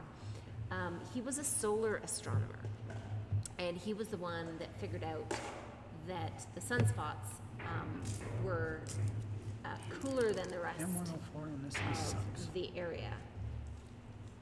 So, do we still have audio? I think we do. Yep. Okay. Yep. If you can hear me, can you just let me know? Because somebody lost audio. I don't know if that means everyone has lost audio. Okay, Tim can hear us okay? Thanks, Tim. And I know there is a delay between what I say and then what you can type because YouTube live stream has, I think it is a seven to ten second delay. So, always a, a bit interesting. Alright, we So we're going to M three? No, uh, it's not quite visible yet. We're going to wait. We're going to go M, um, the Sombrero Galaxy. The Sombrero Galaxy. So, what can you tell me about the Sombrero Galaxy? It's a galaxy. It's a galaxy. It looks like we're a s- sombrero. We're seeing it edge on. And the thing is, I don't see a sombrero. Eh, it's a it's a galaxy with a very prominent dust lane. Yes, So- dust, I see, in abundance. Yeah. Uh, Why it's called the sombrero, I guess, because I the know. dust tends to make it look not ins- uh, asymmetric. So it's more. Uh, we're good to go. Yep. Um, so it looks kind of more bulgy on top than on the bottom. So I guess it looks like a hat, and it's round and wide brim. So I guess. Disc wide brimmed galaxy. So I guess when you go through your list of kinds of hats, they looked at a bowler hat and thought, mm, it's too bulgy, not enough disc. and saw a sombrero was- and thought, hey, there we go, that looks like a galaxy. Yeah, I guess I'm just trying to think if there's any type of hat that would have a wider brim than a sombrero. Outside of a straw hat. Um, I suppose some straw hats, maybe if you go to Ascot. Um, but I think a sombrero, I'm trying to think of any other hat in the world. I'm not an aficionado on hats. What can I say? Although I did just put mine on because it is getting Yeah, colder we have here to in do the this dome. clear. We are now down to 49 degrees. 49.8 degrees uh, Fahrenheit is 9.9 degrees Celsius. And if you're walking around, that's a decent temperature. But if you're just sitting here on a cold, hard chair, it's a bit chilly. So, oof. my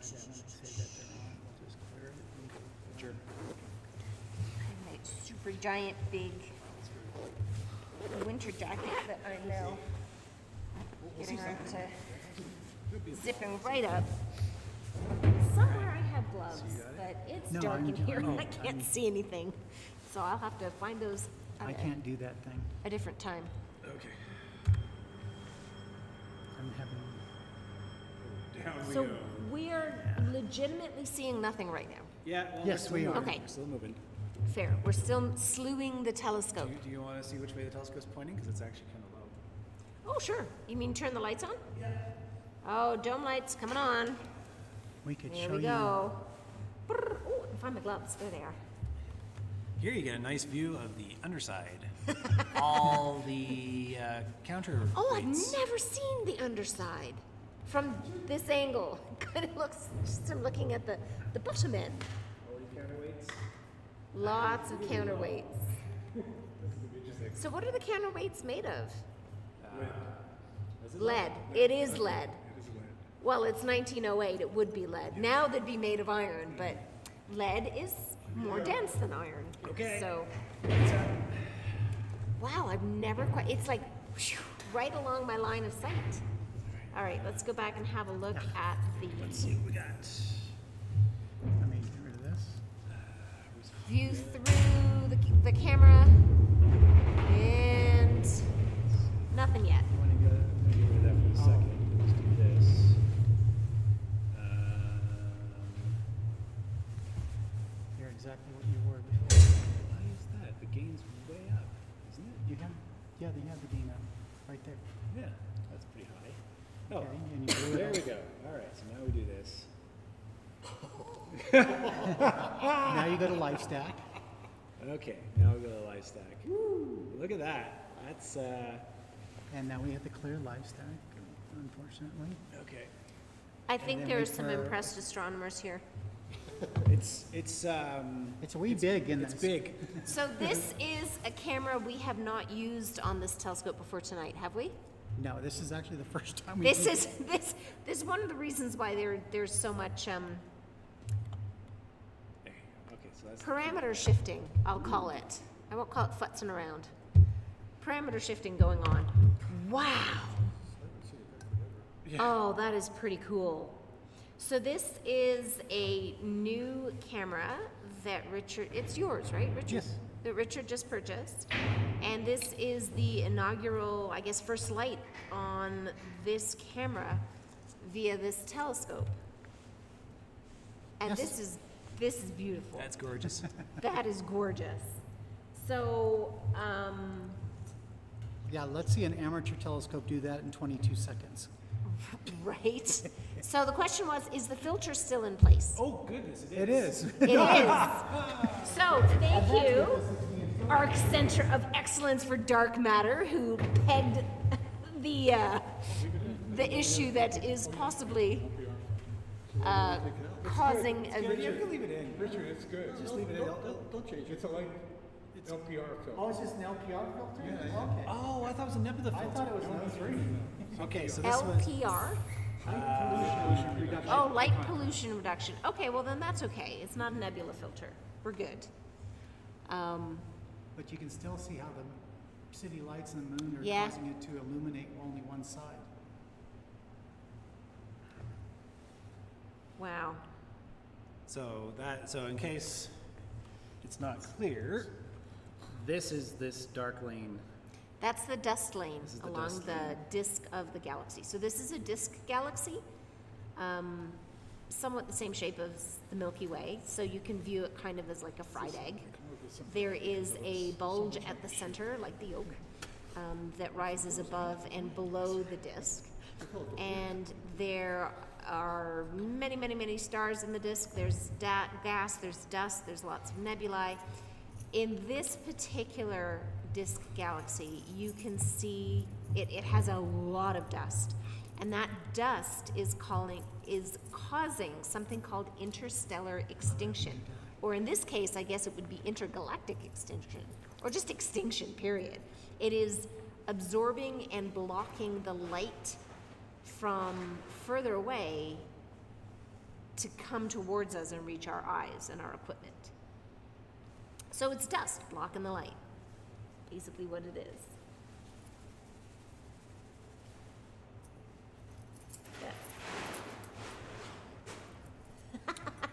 Imagine some sombrero astronomer looking back at us saying, wow, look at the Milky Way. Except probably have a very different name for us. And they would probably not call their home galaxy the Sombrero Galaxy, but you know, Yeah. And you wonder if, it- and from their perspective, would Andromeda be interacting with us? Yeah. Because the light that they would have gotten would have been millions of years ago. So how many, um, how far away is this? I'm looking that up Ah. right now. Uh, 31 million light years away, says Tim. Tim, you should be up here.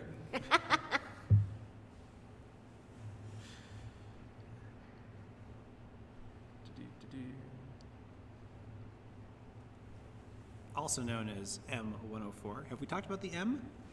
We have not mentioned M's. So there's NGC, which is New General Catalogs. There's um IC, there's HD, the Henry Draper. Um, but there's M. M catalog is the Messier catalog, named after Charles Messier, who was an astronomer who was uh, an avid comet hunter. He loved looking for comets. And he lived in the 1700s, early or late 1700s. I can't remember. In the 1700s, a long time ago.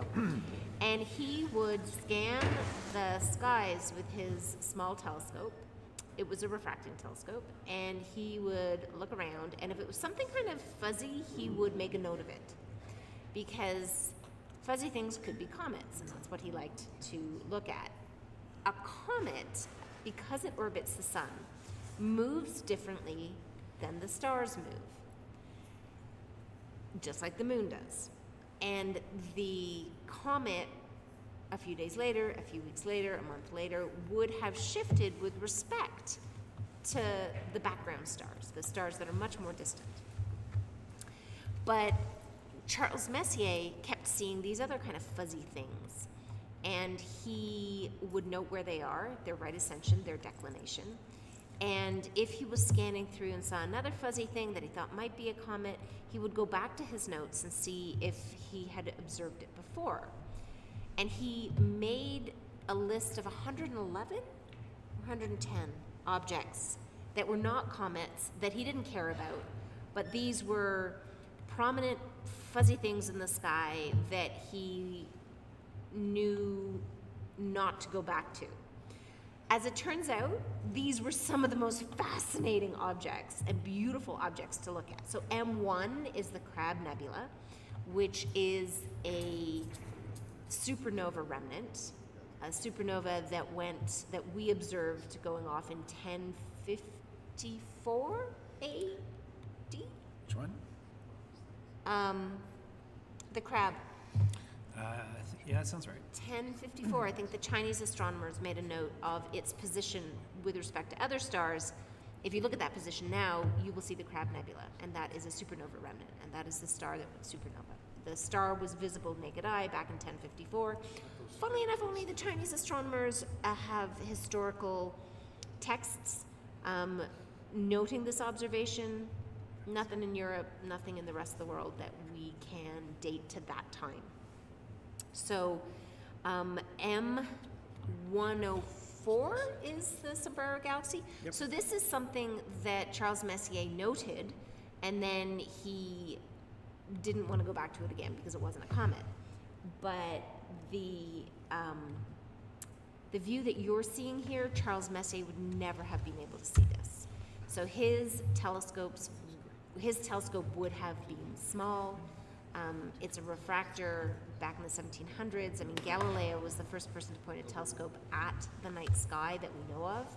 Um, telescopes had been invented a few years previously by by a number, kind of concurrently, a number of op- opticians in, I want to say Denmark. There were three different opticians that went to the crown to get patents, but because they all tried to get patents at the same time, they said it was a common invention and it was unpatentable. So Galileo heard about this wonderful uh, setup of lenses and then decided, because the magnification, he made his own. Undoubtedly, he started looking at like cows in distant fields and leaves on trees, and then he looked up at the night sky. And he was so amazed at what he saw, he started writing about it my adjustments. telescopes for the next 150 or so years were, you know, better versions of Galileo's. They were refracting telescopes, um, and that's what Charles Messier would have used. So he would not have seen this image. I doubt he would have seen the dust lane. Um, he would have seen a diffuse area with probably a very bright center with his telescope. Um, back in that day, they did not know that there was more to the universe than just the Milky Way galaxy. I mean, I think even back then they weren't entirely sure what the galaxy was um, and the extent of the Milky Way. Our understanding that the Milky Way is just one galaxy among many, as in 100 trillion other galaxies, um, is less, that understanding is less than 100 years old. It was in the 1920s that um, Edwin Hubble realized by observations of the Cepheid variable that the Andromeda galaxy was far, far, far away from the Milky Way, outside the confines of the Milky Way. So, other galaxies, Messier wouldn't have known. But we do have this wonder, wonderful catalog that he came up with and these M numbers, and they're pretty famous, um, they are the Messier catalog, as it's now known. So we are looking at Messier 104, which is also known as the Sombrero Galaxy. We'll also have an NGC number. We'll probably also have an IC number. Um, but there you go. Henry Draper was mostly stars, not galaxies. Uh, yeah, I don't know. There's some people who who think it kind of looks like a sombrero. I suppose if you tip your head over to the side. I think it's because it has the glow on both sides with the dust lane splitting the center Yeah. that it gave it a brim look. Yeah, it does. Yeah. I mean, it's beautiful. It's impressive, this camera. We're just deciding what to do next. So the, there's a question from our Australian dark matter friends. Um, is the camera at one by one binning? Yes, Okay. There was a, there was a recommendation to try two by two? to match our focal length on the 60 inch, which is over 24,000 millimeters, uh, we need to go four by four.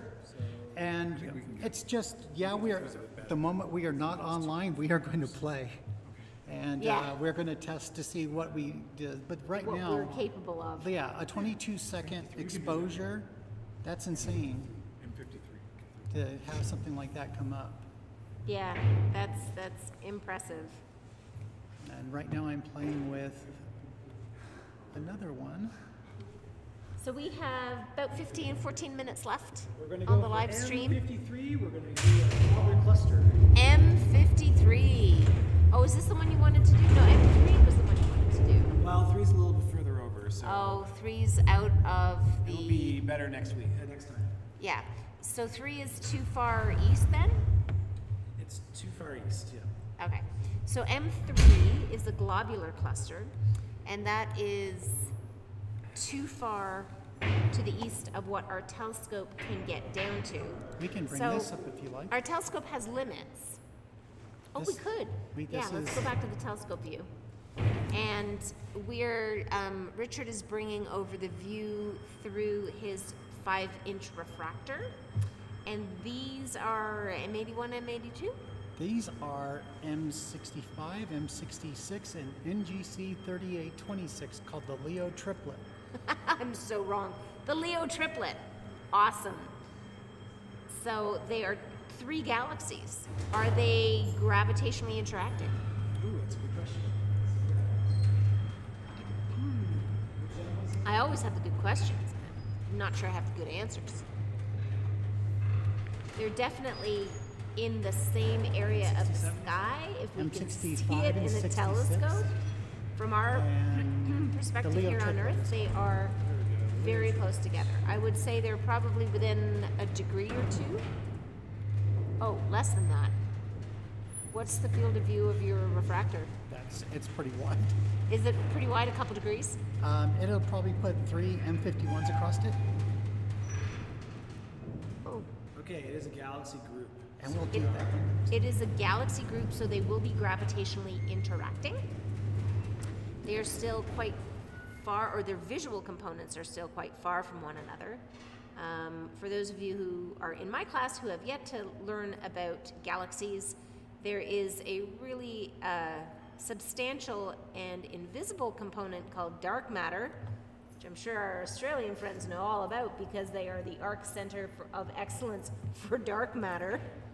Um, so the dark matter in the galaxy, or within the confines of the galaxy, make the confines actually much bigger than just the visible component that you're seeing. So they will certainly be interacting gravitationally. Um, dark matter is dark in that it doesn't emit. Well, thank you, Richard. It doesn't. I didn't say anything. That was my. that was your husband. oh, was that my husband laughing at me? Yes. Oh, thanks, Chris. Um, so dark matter is dark in that it doesn't emit light. It Okay, we're doesn't going to absor- let them absorb try to bring in the other one. electromagnetic radiation. It does not interact with electromagnetic radiation at And we're all. going to It is, clear however, this and matter, get out of stage. which means it has mass and it interacts And you're gravitationally. trying to do. So we cannot see it, and the only way we know it exists is how it interacts gravitationally with stuff we can see. So we have to look for the stuff that we can see, and if it's moving weirdly, then there's some unseen component out there. Now, sometimes the unseen component is, at a later time, Was- Is this a seeable. this is, in fact, how astronomers discovered Neptune. Because they realized that Uranus was not orbiting the sun the way that they had um, projected, the way that they had anticipated Oh, we're still moving. Okay. that it would orbit. And their uh, kind of diagnosis of the unusual behavior of Uranus was that there was some other massive object further from the sun that was gravitationally pulling on it and affecting Well, how it was orbiting it. it'll move again, so. It was orbiting. And they tasked some mathematicians with figuring out, wow. Okay, yep, we have a globular cluster. Oh, yeah. Now, this is what we're, we're gonna be able to hopefully live stack. That would So they, they, the, the back to the story of the discovery of focus. Neptune. Uranus was behaving poorly. The astronomers tasked the mathematicians for figuring out how massive the object would be and where it would be to account for the unusual orbiting of Uranus. And the, the mathematicians nailed it. So for those of you who don't think math isn't useful in real life, read that story. It's awesome. The discovery of Neptune. Um, so sometimes things are just very faint, and you have to know where to look to be able to actually see them. Um, sometimes things are quite bright. These stars here that we're looking at right now are actually pretty bright. There's something weird going What's the deal here? What we can do is we can do this, we'll do undisconnected. And then reconnected. Okay, disconnect and reconnect. Yeah, That's just to like the see famous what's- Have you tried turning turn it it on? off, turn it on again. that is, by the way, for my Do we students, think what I need did that on much Monday gain? to figure out how to I- get the Wi-Fi in the I was just doing planetarium. that so we could I actually get- rebooted my Oh, that's computer right. and uh, logged off to my account and logged back on. And then lo and behold, right after class ended, I got the Dome Wi-Fi. Yay! That will mean that I will have internet Alright, for that's better. tomorrow. Although I guess we Yay. could use a little, We need some focus, that's, dude. We need some focus. We need a little focus. we need a little focus. Okay. But he has to wait for the refresh though, yeah? Oh, we can turn the, Yeah, shorten the exposure. we can shorten the exposure and put the gain up and then. Let's get it focused, otherwise we're waiting too long. Our gain's at four hundred already. Let's see, we may have to go higher. Uh, let's try, try doing the auto thingy. That's better. So this is going to be our last target for this evening. So this is a beautiful globular cluster. We can do this one. Give like ten seconds. We're still waiting too long. Hard to focus on the other Yeah. Right now, we're focusing on the stars. But in a 23 second exposure, it'll take a picture and then it'll be it'll start stacking Well, and then you have to like seconds, focus a little bit. And then you won't see the results of your efforts of refocusing for What's going on? This is so weird. uh, 46 seconds I guess we're because that 23 second exposure is going to be all over the place and then you need another 23 second exposure. So I think they've shortened the exposure time and upped the gain so So we can focus it. That's so good. you can focus. That's good. Well, That's a bit better. So this is Now a globular cluster. And you may going, maybe saying to yourself, what the heck's a globular cluster? Well, it is essentially a bunch of stars globbed together. Uh, it's a I think they were happy with pretty self-explanatory name. Globular clusters tend this? to have hundreds of thousands, if not millions, of stars within them. For the most part, globular clusters are really old uh, collections of stars, which means that they don't have any massive stars.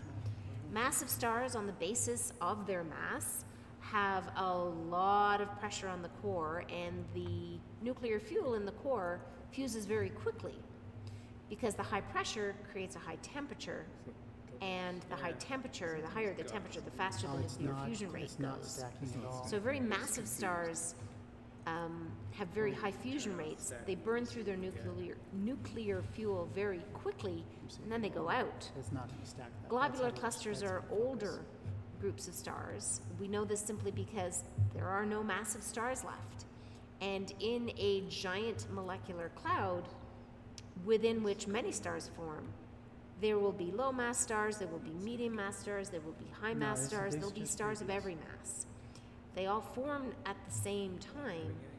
The, the more massive ones, the most massive ones evolve first, and then the more massive ones evolve, and then you get to medium mass stars, and, and you work your way down. The, the low mass stars last the longest in the universe. So these globular clusters are old. We know they're old because they don't have any of these high mass stars left. And these globular clusters are also not in the plane of the disk galaxy. They are either above or below the plane of the galaxy, in a region known to astronomers as the halo. Now, I, when I think of halo, I think of an angel with a little ring around its head, kind of, you know, from cartoons or what I thought when I was a kid. The halo of a galaxy is a sphere. It is a region, a spherical region around the Yeah, and you're disk, get- getting, if you're getting an enclosing the internal disk reflection, within which globular clusters are found. And how many globular clusters do they estimate the Milky Way has? I thought it was just over a hundred. Yeah, there's like, I was thinking Ten? between 100 and 200. Yeah, So it's. Yeah. So there's, um, that we have seen, because there may be some on the far yon side of the galaxy that we can't see through all the dust in the plane of the galaxy. If it's perfectly lined up with the dust from our perspective, we may not be able to see it well. So they're always learning new things about the Milky Way.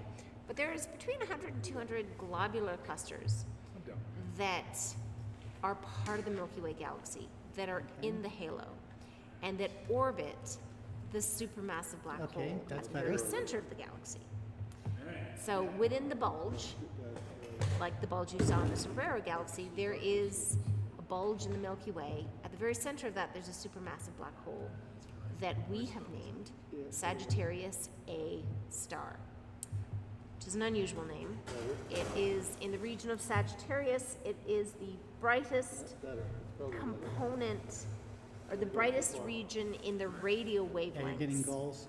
um, in the Sagittarius constellation, and the star is the very center where Better. the mass is concentrated. So we have a supermassive black hole that has the mass of about 4 million suns, and everything in the galaxy seems to orbit that region. So these globular clusters way out there in space are orbiting the supermassive black hole at the center of our galaxy.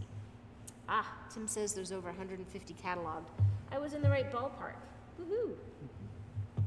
M53 Wikipedia est- age estimate is 12.67 billion years. So about a billion years shy of the age of the universe. That's a pretty, pretty young, young galaxy there. M53. Oh, hang on. M53 is the globular cluster. What am I? Ugh, not M104.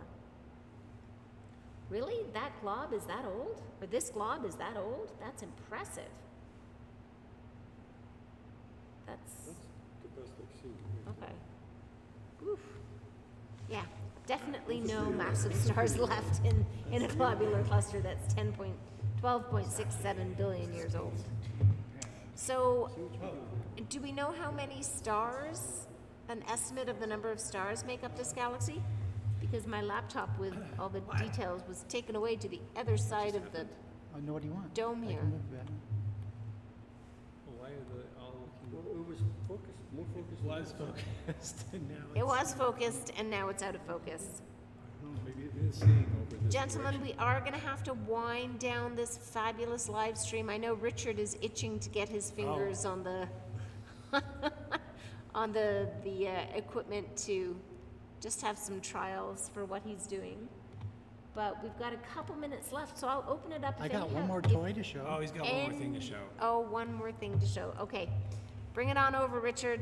This is through his refracting telescope. Wow. That is not an image that has been grabbed from the internet. That is a live, but a stacked image, yeah? No, it's a single frame, right? Well, That's yeah. single frame. What's the exposure time? Sixty seconds. It is 60 seconds exposure. We are That is cheating. beautiful. So, what are we looking at, Richard? This is M51. This is the Whirlpool Galaxy. The whirlpool. And the little thing on the bottom left? That's that's unfortunately his friend, who um, Is being is ripped losing. apart. Yes, he's losing the fight right now, Yep. Which is uh, is it M52, I believe. Uh, There's- M50, uh, M51B. M51B. Yeah, I bet you Messier couldn't even distinguish between M51 and this little companion to the bottom left. Wow. What are you doing? I'm making it brighter. Okay. Mm-hmm. He's playing with the uh, the level. So that that thing he's doing on the bottom that shows a histogram of the pixel values, and that kind of gives you an idea of what the darkest part you want and what the lightest part you want, and you sort of try and dial that in. Yeah. Plus, on since it goes through this whole thing to YouTube, it gets compressed, and I noticed that what looks too bright here looks Yeah. good over there. Yeah, yeah, and then looks really good on YouTube over here.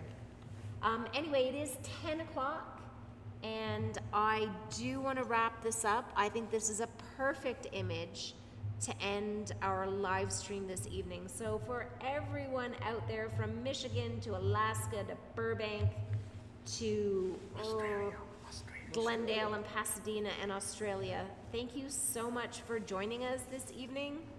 Um, we will be doing this all again in two weeks. So if you're interested, come on back and see what we're going to be looking at through our fabulous dome at that time. Good. But for right now, I'm going to say good night from all of us up here at Mount Wilson, presently in the dark. Not so dark. All right. Good night, everyone. I think seeing was starting to go away. I think it's bad over here. And um, because I took this, I took a picture of this last night,